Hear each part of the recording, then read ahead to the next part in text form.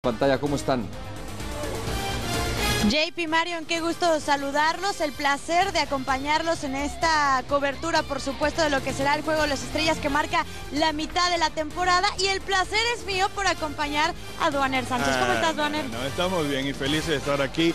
Toda la gente que está llegando, ya los peloteros llegando a esta ciudad de San Diego, la mayoría llegan en la noche para la fiestecita, ya ustedes saben, para que se vayan arreglando por allá, pero va a estar muy bueno. El, el ambiente aquí en San Diego está todo alegre. Recuerden que es una ciudad que es chiquita, pero tiene mucho que ofrecer. Ambiente muy beisbolero, hay que decirlo, porque lo decías muy bien. Aparte de que el clima nos acompaña, Sí, porque es espectacular. Mejor no podría ser el FanFest que está en su segundo día, que por poco seguramente casi- alguna pelota me va a estar pegando, pegando por aquí. Pero ya podemos ver a algunos aficionados portando la franela del equipo al que le van. Vemos a mucha gente, obviamente, de los padres de San Diego, pero la verdad es que está bastante variada la situación aquí en el FanFest. Sí, no se está viendo nada más camiseta de los padres. No. Aquí anda Cincinnati, los Dodgers, Muchos Chicago de los Dodgers, Cubs, obviamente. muchísimos de los Dodgers porque estamos aquí cerquita de Los Ángeles. Una cosa que sí me fijé es que eh, el, el que va a comenzar por la Liga Nacional de Shortstop, Russell, tiene menos números que Seager.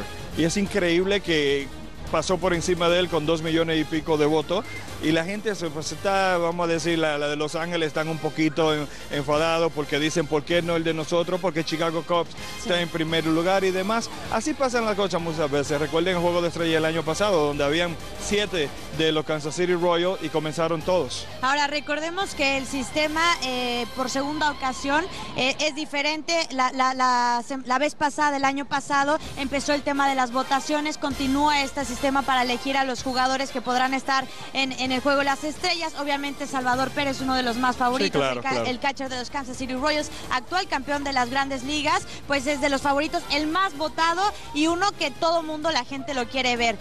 Duaner, en el tema de bajas, porque hemos visto muchas bajas en las últimas horas, incluyendo a Marco Estrada, era el único mexicano que iba a estar presente y ya no lo estará. ¿Cuál ha sido el más significativo?